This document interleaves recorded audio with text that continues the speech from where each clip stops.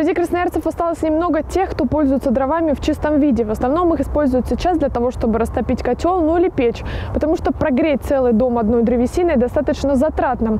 Против этого вида топлива выступают и экологи. Почему? Давайте разбираться.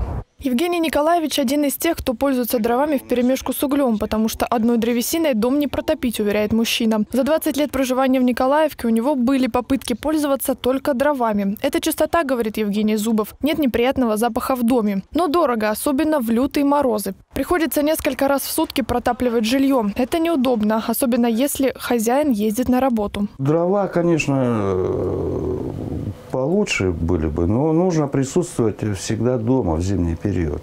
А если дома никто в течение дня не находится, то подтапливать э, не получится. Дрова поэкологичнее, дым не тот, грязь не так. А то у меня получается здесь кочегарка, по сути, вот на кухне.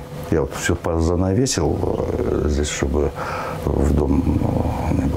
Вообще сейчас популярны два вида дровяного отопления. Это печное и водяное. Печи либо камины, как утверждают специалисты, могут быть лишь декоративной частью дома. Они слишком неравномерно обогревают комнаты. В большинстве случаев люди выбирают водяное отопление. Его сердце – это котел, который и работает на дровах. В нем нагревается вода, а после она начинает поступать в батареи. Но в обоих случаях тепла, который выделяют дрова, не хватает даже на полдня. С этим согласен и эколог Павел Гудовский. Даже вот у меня есть дача, и там сосед э, живет на даче.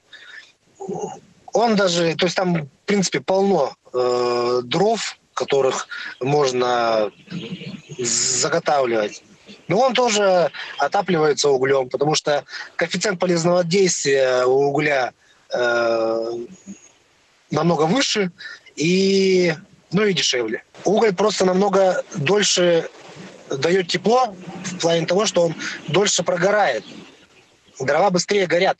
Ну, конечно, в плане загрязнения воздуха у дров большое преимущество. Вредных веществ они выделяют меньше. Зато, говорят ученые, люди не учитывают еще один важный момент, связанный с экологией. Это вырубка леса. На дрова идут срубленные деревья, и чаще всего срубленные незаконно. В таком случае, говорят в Институте леса, флора страдает. Но есть выход.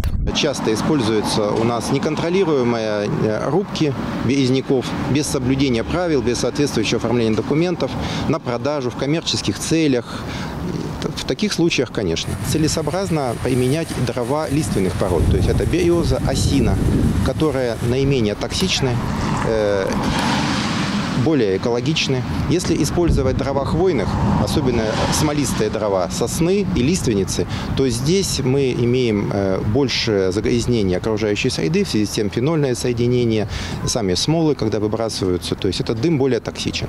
Миф о том, что дрова экологичнее угля в Европе уже не популярен. По данным руководства по инвентаризации выбросов Евросоюза, удельные выбросы бензопирена при сжигании дров до 2000 мг на тонну, при сжигании угля до 2600 500 мг на тонну. То есть дрова не такое уж и безопасное топливо. Немаловажно и сколько приходится их сжигать. Если дрова хранятся как попало, либо древесина свежая, не просушенная, то влажность такого топлива может превышать 20%, а значит придется сжечь гораздо больше объем. Лишние деньги в трубу. Дровяное отопление, пожалуй, самый проверенный историей человечества способ обогрева дома.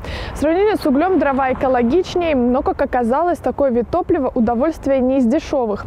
Особенно если вы хотите прогреть дом. Ведь КПД у дровяного дровяного отопления не такой уж и большой. Еще один минус – это вырубка леса, особенно незаконная.